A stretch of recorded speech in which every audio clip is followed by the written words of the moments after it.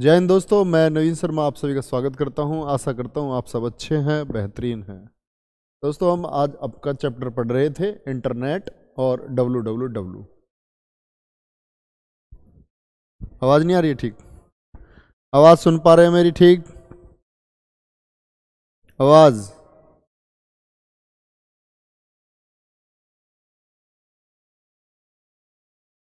ये क्या प्राइवेट क्यों रखी है? किसने शेड्यूल की थी?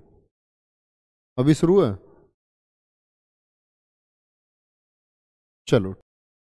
तो दोस्तों, हम पढ़ रहे थे आपका internet and W W W जिसमें कि मैंने आपको बताया था कि इंटरनेट का जो आधार बना था, वह बना था आपका आरपानेट और आरपानेट जो कि एक प्रकार का नेटवर्क था, और नेटवर्क के बारे में मैं आपको बता रहा था, जिसमें हम नेटवर्क के टाइप्स में बात कर रहे थे।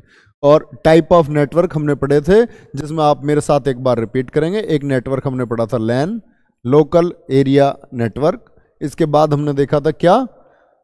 पैन भी हम पढ़ चुके थे। Personal area network personal area network इसके बाद बच्चे लैन हम पढ़ चुके थे। लोकल एरिया नेटवर्क और इसके एग्जाम्पल्स भी हम देख चुके थे कि किसी एक ऑफ़िस या बिल्डिंग में आपका लैन होता है। परमानेंट जो आपका पर्सनल पर्सनल एरिया नेटवर्क होता है, वह किन्हीं दो नेटवर्क के साथ बनाया गया एक नेटवर्क, ऐसा नेटवर्क होता है जो कि बहुत छोटे क्षेत्र के लिए बनाया जाता है, जिसका एक उदाहरण मैंने आपको बताया था, ब्लूटूथ। इसके बाद हम पढ़ रहे थे आपका MAN metropolitan area network metropolitan area network जिसमें मैंने आपको बताया था कि इसका सबसे बेस्ट एग्जांपल है आपका केबल टीवी जिसका बेस्ट एग्जांपल था आपका केबल टीवी इसके बाद बात कर रहे थे हम बच्चे, इसमें सबसे लास्ट में हमने बात की थी वैन की wide area network wide area network, जो कि मैंने आपको बताया था कि विश्व में एक देश से दूसरे देश तक को भी जोड़ता है तो यह होता है आपका वाइड एरिया नेटवर्क जिसका एक बेस्ट एग्जांपल मैंने आपको बताया था 5G एंड 4G यहाँ तक की क्लास बच्चे हम समझ चुके थे, इससे आगे हम चलते हैं तो हम इंटरनेट को और अच्छे से समझेंगे कि नेटवर्क की सहायता से अभी नेटवर्क के बारे में हम पढ़ रहे हैं। तो इसके बाद आप देखते हैं। अब बात आती है सबसे पहले 1969 में 1969 में अमेरिकी रक्षा विभाग, अमेरिकी जो आपका अमेरिकन डिफेंस डिपार्टमेंट था, अमेरिकी रक्षा विभाग ने, अमेरिकी रक्षा विभाग ने एयरपानेट का विकास किया। किसका विकास किया बच्चे? एयरपानेट का विकास किया। एयरपानेट क्या था इस बात को समझेंगे? एयरपानेट था आपका बच्चे। आप इसका पूरा नाम लिखेंगे, मैं आपके कमेंट्स का इंतज़ार कर रहा हूँ। Advance research project agency net.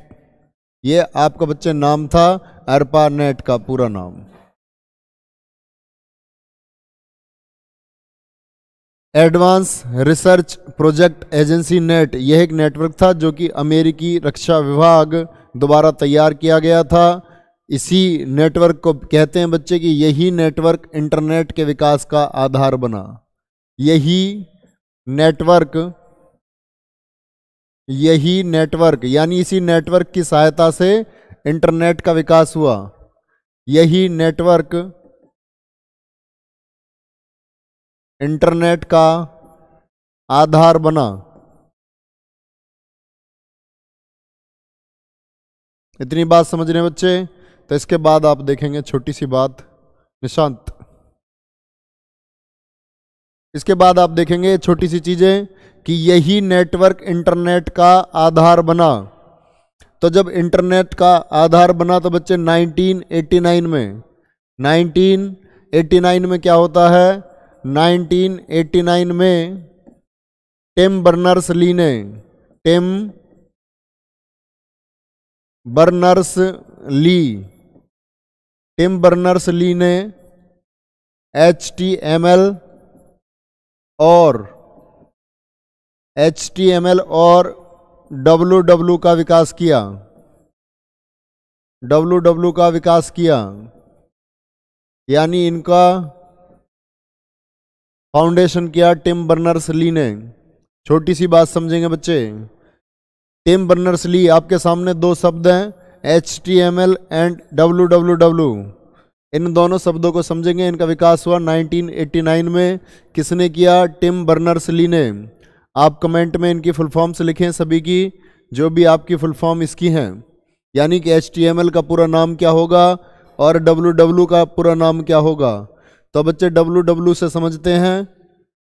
W W W world wide wave. World wide wave. Wave से आप समझते हैं एक जाल है। क्या है? एक जाल है। जाल भी कैसा है? पूरे वर्ल्ड वाइड विस्तृत है। पूरे विश्व में फैला हुआ है। जी जी जी। पूरे, यानी कि विश्व भर में फैला कंप्यूटरों का जाल। विश्व भर में फैला कंप्यूटरों का जाल। ये है आपका वर्ल्ड वाइड वेव और वर्ल्ड वाइड वेव के लिए आप देखते हैं कि वर्ल्ड वाइड वेव यानी विश्व भर में जो कंप्यूटरों का जाल फैला हुआ है तो इसको कंट्रोल और ऑर्गेनाइज करने के लिए लिखेंगे डब्लू को ऑर्गेनाइज करने के लिए. ऑर्गेनाइज करने के लिए एक ऑर्गेनाइजेशन है जिसका नाम है W W W W W C. W W W C. इस बात को समझेंगे बच्चे, डब्लू डब्लू डब्लू सी क्या है? तो ये बात है आपकी world wide wave consortium consortium. इतनी बात समझेंगे, यानी कि विश्व भर में जो कंप्यूटरों का जाल फैला हुआ है, इस पूरे नेटवर्क को आप बोलते हैं W W W world wide wave. और इस वर्ल्ड वाइड वेव के रेगुलेंस जो आपके होंगे और इनको निर्धारित करने के लिए, यानी क्या नियमों पर यह चलेगा, इन नियमों को निर्धारित करने के लिए एक संस्था है, जिसका नाम है आपका वर्ल्ड वाइड वेव कॉन्सोर्टियम। इतनी बात समझ रहे हैं बच्चे? इतनी बात क्लियर है? बड़ी छोटी सी बात है और एक शब्द आपका था क्या? एच टी एम एल एक शब्द था आपका H T M L H T M L का पूरा नाम होता है आपका hyper text hyper text markup language hyper text markup language अभी एच टी एम एल क्या होता है? तो इस बात को आप समझेंगे एचटीएमएल होता है आपका किसी वेब पेज को तैयार करने के लिए, किसी वेब पेज को तैयार करने के लिए सॉफ्टवेयर किसी वेब पेज को तैयार करने के लिए जो आपका सॉफ्टवेयर होता है, वह होता है आपका क्या?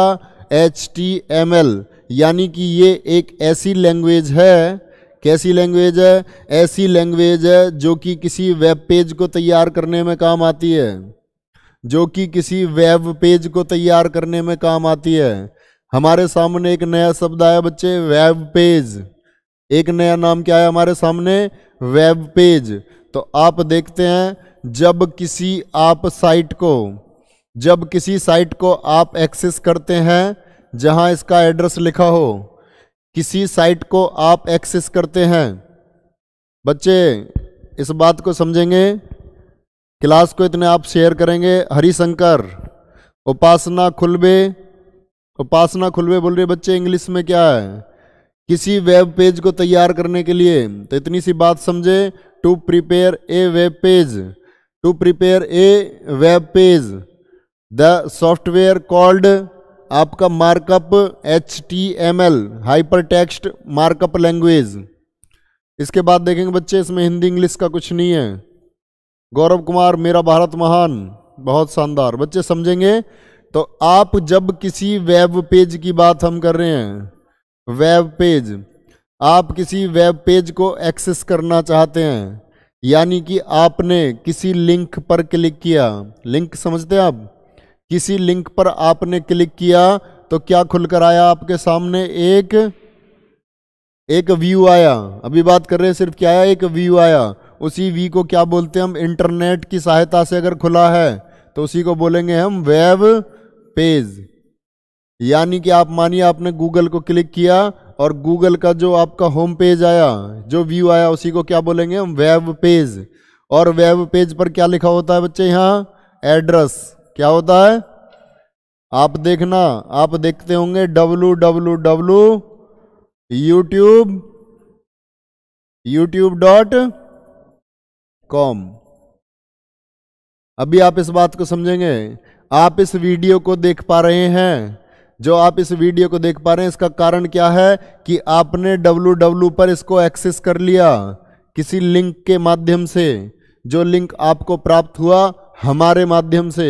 तो इस बात को समझेंगे बच्चे, किसकी वजह से हुआ ये? डब्लू डब्लू डब्लू डब्लू पर जो एक्सेस आप किसी साइट को करते हैं, इसके लिए होता है आपका U R L U R L U R L क्या होता है इसको समझेंगे? पहले यू आर एल का पूरा नाम देखते हैं। Uniform resource locator uniform resource locator. Hrithik Chaudhary, बहुत बहुत धन्यवाद। एक होता है आपका U R L uniform resource locator. इस बात का क्या मतलब है? यू आर एल होता है किसी वेबसाइट का पता। क्या बोलेंगे बच्चे इसको? किसी वेबसाइट का पता। बच्चे क्लास को शेयर कर देंगे आप सभी। क्लास को आप लोग शेयर करेंगे। ठीक है। ओके। परमानंद यादव, बिल्कुल आप ठीक कह रहे हैं। आपकी बात को तवज्जो दी जाएगी। चलो। अमायरा, इस बात को सुनेंगे बच्चे। अभी हम बात कर रहे हैं कि किसी कंप्यूटर में हमको किसी लिंक पर पहुँचना है। यानी कि किसी वेब पेज पर हम पहुँचना चाह रहे हैं तो इसके लिए हम किसका प्रयोग करते हैं? यह एड्रेस हमको कौन प्रोवाइड करेगा? U R L uniform resource locator और एक बात मैं आपको समझा रहा था डब्लू डब्लू डब्लू क्या होता है? विश्व भर में फैले हुए कंप्यूटरों का जाल, जो कि आपस में क्या है? कनेक्टेड है। यह होता है आपका डब्लू डब्लू डब्लू और डब्लू डब्लू के लिए आप एक चीज़ देखेंगे। एक टर्म आती है आपके सामने डब्लू डब्लू डब्लू डब्लू आप जानते हैं इस टर्म को? तो बताएँगे आप बच्चे, इसका पूरा नाम लिखेंगे। इसका पूरा नाम आप लिखेंगे। इसके बाद आप लिखेंगे बच्चे, विपिन जुगला, बहुत दिन में दिखाई दिए भाई। बहुत शानदार एग्ज़ाम एकेडमी ये बच्चे पढ़ेंगे आप W W W W W W W इसका मतलब है कि जब आपका डब्लू डब्लू बना था 1994 में, तब विकास हुआ था आपका जिस तरह मैं डब्लू डब्लू को एक नाम दे सकता हूँ डब्लू थ्री और थ्री डब्लू क्या नाम दे सकता हूँ? डब्लू थ्री और थ्री डब्लू इसी तरह मैं इसको नाम दे सकता हूँ फोर डब्लू और डब्लू फोर तो इसके कंट्रोल के लिए एक आपका बनाई गई जो संस्था थी, वह थी आपकी world wide wave warm world wide wave warm इतनी बात समझ रहे हैं? नोट कर चुके इस बात को? अब बच्चे, बात आती है इंटरनेट इंटरनेट से जुड़ने के लिए आपको क्या क्या चाहिए? इंटरनेट से जुड़ने के लिए आपको ज़रूरी चीज़ें क्या हैं? उससे पहले भी आप एक देखेंगे। गौरव कुमार, एक भी प्रश्न नहीं बचेगा भाई, एक भी प्रश्न। पीडीएफ बहुत जल्दी मिलनी शुरू हो जाएँगे। आप पीडीएफ के बारे में ना बोले, बच्चे निश्चिंत रहें। पीडीएफ जैसे ही आपकी क्लासेस बंद हो जाएँगी यूट्यूब से आपको रेगुलर पुरानी पीडीएफ और नई पीडीएफ सब आपको सीरीज़ से मिलेंगी। ठीक है। इसके बाद देखेंगे बच्चे। यूपीएसआई का बच्चे बैच होता है आपका सुबह। ऋतिक चौधरी, आपका नाम मैंक है। तो नाम ऐसे क्यों रख रखा हुआ ऋतिका जैसा। चलो। इसके बाद क्या बात कर रहे थे बच्चे? बात कर रहे थे इंटरनेट के लिए ज़रूरी चीज़ें क्या हैं? इंटरनेट से जुड़ने के लिए ज़रूरी चीज़ें क्या हैं? तो आप देखेंगे इंटरनेट पर प्रयुक्त प्रोटोकॉल्स। इंटरनेट पर प्रयुक्त प्रोटोकॉल्स।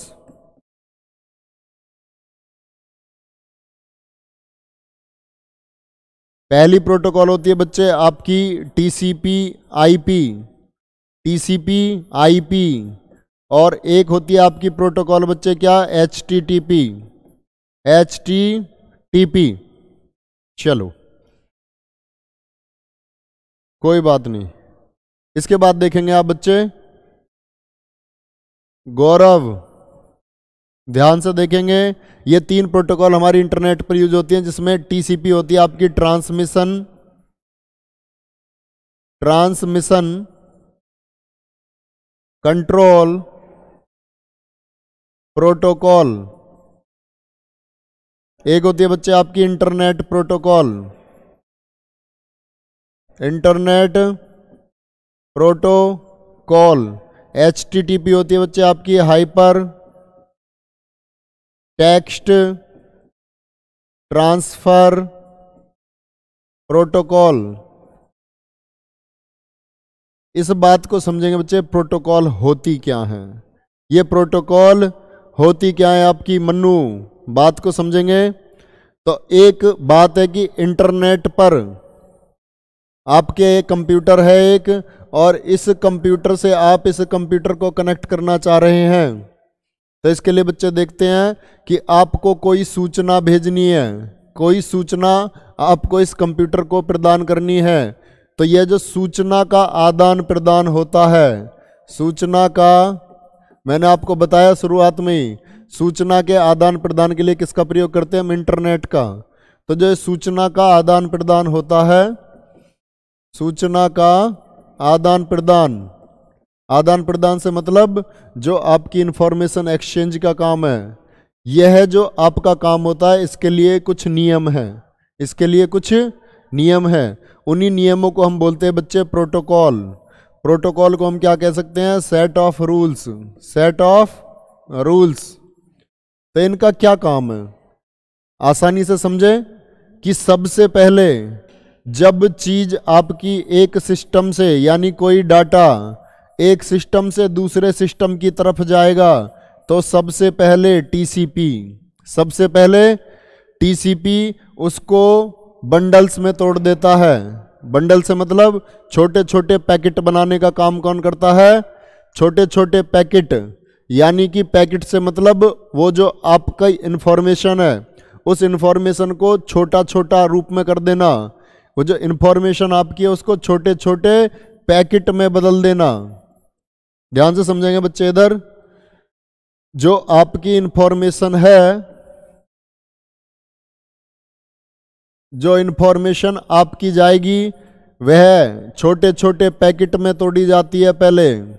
और छोटे छोटे पैकेट में तोड़ने का काम कौन करता है? Transmission control protocol transmission control protocol इसके बाद बच्चे इसको एनहेंस या एक्सटेंड करने का काम कौन करता है? एक्सटेंड कौन करता है इसको?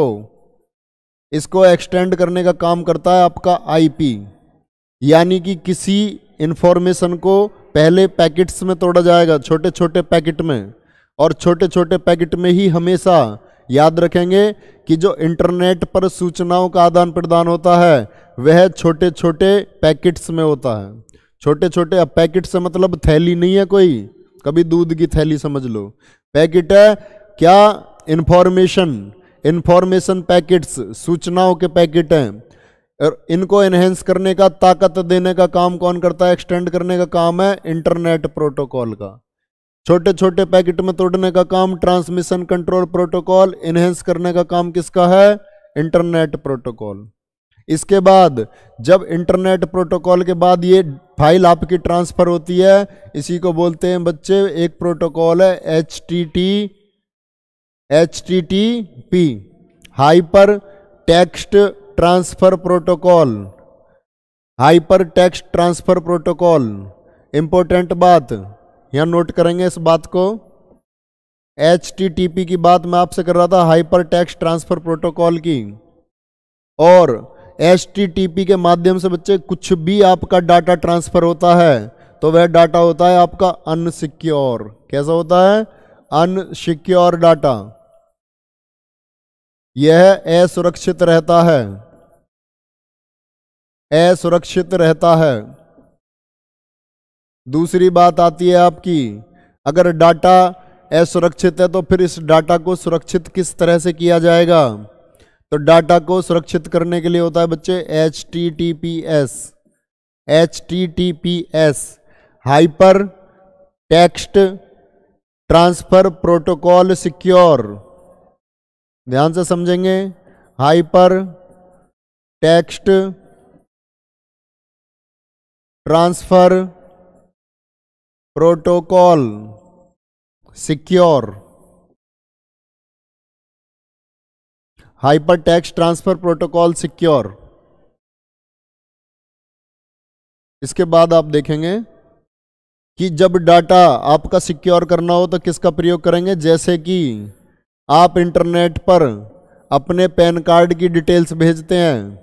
इंटरनेट पर आप अपने पैन कार्ड या बैंक अकाउंट की जो डिटेल्स हैं उनको ऐड करते हैं। तो यह आपकी एक निजी जानकारी है, जिसको कोई चुरा सकता है। चुरा कौन सकता है? हैकर चुरा सकता है। हैकर के बारे में हम बाद में बात करेंगे कि हैकर दो टाइप के होते हैं। एक वाइट हैट हैकर और एक ब्लैक हैट हैकर तो जो चोरी का काम करते हैं, इंटरनेट पर सूचनाओं को चुराने का काम करते हैं, उनको बोलते हैं हम ब्लैक हैट हैकर्स। तो ब्लैक हैट हैकर्स, यानी कि जो सूचना जारी है, यह सूचना कोई चुरा ना सके, इसके लिए होता है H T T P S समझ रहे हैं बच्चे? समझ रहे हैं तो थम्स अप करें। और इसके बाद देखें आप इंटरनेट से जुड़ने के लिए ज़रूरी चीज़ें। एच टी टी पी और H T T P S के बीच का अंतर आप समझ गए होंगे बच्चे? एक्सटेंड एक्सटेंड का मतलब होता है बच्चे एक्सटेंड का मतलब होता है स्ट्रेंथ दे देना। मैंने आपको बताया था कमज़ोर सिग्नल को मज़बूत करना, यानी कि सिग्नल की स्ट्रेंथ बढ़ा देना। एक्सटेंड मतलब होता है बढ़ाना, और टीसीपी सिर्फ़ बंडल्स में बांटता है, इसको आगे प्रोसीड करने का जो काम है, वह होता है आपका इंटरनेट प्रोटोकॉल का। और इस बात के लिए बात याद रखेंगे कि इंटरनेट पर इंटर नेट पर सर्वाधिक प्रयुक्त प्रोटोकॉल। सर्वाधिक प्रयुक्त प्रोटोकॉल कौन सा है? प्रोटोकॉल मतलब कौन से नियमों का सबसे ज़्यादा पालन किया जाता है? तो आप लिखेंगे टीसीपी आईपी। टीसीपी आईपी और ट्रांसमिशन कंट्रोल प्रोटोकॉल के रूल्स दिए गए हैं। यूज़ करने के लिए इनके वो भी बोलते हैं टीसीपी आईपी के द्वि स्तरीय नियमों का सेकेंडरी लॉज का सेकेंडरी लॉज का पालन किया जाता है। द्विस्तरीय नियमों का पालन द्विस्तरीय नियमों का पालन किया जाता है, जो कि टीसीपी में डिफाइन किए गए हैं। बच्चे, आपके एग्ज़ाम से पहले थोड़ी थोड़ी छोटी छोटी क्लासेस तो आपकी हैं। अंजलि अच्छा ठीक है। बच्चे, क्लासेस में क्या कंप्यूटर, देखो, आपके लिए बहुत छोटा सा टाइम कंप्यूटर का रखा हुआ है। आप इसे छोटे छोटे तरीके से रोज पढ़ते रहें, रोज इसे पढ़ते रहें छोटा छोटा तो आपकी परीक्षा से बहुत पहले कंप्यूटर आपका खत्म होगा। ठीक है। इसके बाद देखेंगे बच्चा, इंटरनेट से जुड़ने के लिए ज़रूरी चीज़ें। इंटरनेट से जुड़ने के लिए इंटरनेट से जुड़ने के लिए ज़रूरी चीज़ें। इंटरनेट से जुड़ने के लिए ज़रूरी चीज़ें। जो पीडीएफ, ठीक है बच्चे, पीडीएफ का ध्यान रखा जाएगा आपका। मैंने आपसे बोल दिया, उस बात के बारे में आप बात नहीं करेंगे, आप क्लास को समझेंगे। सबसे पहली चीज़ इंटरनेट से जुड़ने के लिए हमको चाहिए बच्चे क्या? पीसी। पीसी यानी कि पर्सनल कंप्यूटर, पर्सनल कंप्यूटर। दूसरी चीज़ बच्चे, अभी इन टर्म्स को हम समझेंगे कि ये टर्म्स होती क्या है। दूसरी चीज़ चाहिए बच्चे हमको, मॉडेम मॉडेम। यानी कि मॉड्यूलेटर, डिमोड्यूलेटर। ये बात भी हम समझेंगे कि मॉड्यूलेटर और डिमोड्यूलेटर क्या होता है। Modulator and demodulator. ये बात देखेंगे तीसरी चीज़ बच्चे, क्या ज़रूरी है? ISP internet internet service provider इतनी बात समझेंगे कि पहले एक पर्सनल कंप्यूटर हमको चाहिए इंटरनेट से जुड़ने के लिए, उसके बाद एक मॉडम की आवश्यकता है, उसके बाद एक आईएसपी यानी एक ऐसी कंपनी जो इंटरनेट सर्विस प्रोवाइड कराती हो। लाइक वोडाफोन एंड एयरटेल ठीक है? अच्छा। ठीक है, शेरनी सुनाने का टाइम भी आएगा। शेरनी अभी थोड़ी क्लास कर ले, दस पाँच, फिर उसके बाद शेरनी और शेर सुनाया करेंगे तुम्हें। रोज एक शेरनी और उससे अगले दिन एक शेर सुनाया जाएगा। ये देखो आईएसपी आईएसपी के बाद बच्चे चाहिए आपको क्या? ब्राउज़र। ब्राउज़र। और ब्राउज़र आप समझेंगे कि ब्राउज़र जिस तरह से सबसे पहले ब्राउज़र को एक्सेस किया जाएगा और ब्राउज़र में आप पढ़ते हैं, जैसे कि इंटरनेट एक्सप्लोरर आपका ब्राउज़र है। तो इनके एग्ज़ाम्पल के बारे में भी हम पढ़ेंगे। हम देखेंगे कि यूसी आपका एक ब्राउज़र है, गूगल क्रोम एक ब्राउज़र है। किंतु फिर होते हैं आपके सर्च इंजन क्रोम पर भी गूगल, सिर्फ़ गूगल क्या होगा आपका सर्च इंजन। चौथी चीज़ आपको ब्राउज़र बच्चे ध्यान से समझेंगे। सबसे पहली चीज़ पीसी, फिर आपका मॉडेम, फिर इंटरनेट सर्विस प्रोवाइडर, फिर ब्राउज़र। पांचवी चीज़ है बच्चे आपके पास, सर्च इंजन। Search engine. फिर देखते हैं आप सर्च इंजन को। और छठी चीज़, छठा होता है आपके बच्चे, संचार माध्यम। संचार माध्यम। इन सभी चीज़ों को छह की छह टर्म्स को हम समझेंगे कि ये टर्म्स आपकी अच्छा सब के सब मक्कार, कोई नहीं पढ़ते, पढ़ेंगे। ये ऐसा होता कि एग्ज़ाम टाइम पे लोग कहते हैं कि भाई हमारा रिवीजन नहीं हुआ। रिवीजन के लिए हमें टाइम नहीं मिल रहा जी। ये ये मक्कार ही तो रहते हैं जो अब नहीं पढ़ते। पेपर टाइम पे फिर तुम्हें पता है इनके साथ क्या होता है। क्या जी पेपर बिगड़ गया हमारा था अरे पेपर तो तुम्हारा बिगड़ेगा ही जब तुम अब मस्ती कर रहे हो। तुम ये सोचते हो कि पेपर से पहले दस दिन पहले पढ़ लो तुम। और पेपर से दस दिन पहले या एक महीने पहले पढ़ गया कुछ नहीं होता। ये बात समझेंगे। संचार माध्यम कम्युनिकेशन मीडियम कम्युनिकेशन मीडियम जो अभी से भैया लगातार मेहनत जुड़ा कर, लगातार मेहनत करता रहेगा, लगातार अभी से जुड़ा रहेगा एग्ज़ाम तक तो उसके लिए एग्ज़ाम बहुत आसान हो जाएगा। और मैंने आपसे प्रॉमिस किया है computer ten out of ten Delhi police कराएगी, मेरी ज़िम्मेदारी है। मेरी ज़िम्मेदारी है, उस बात के लिए आप परेशान ना हो। ठीक है।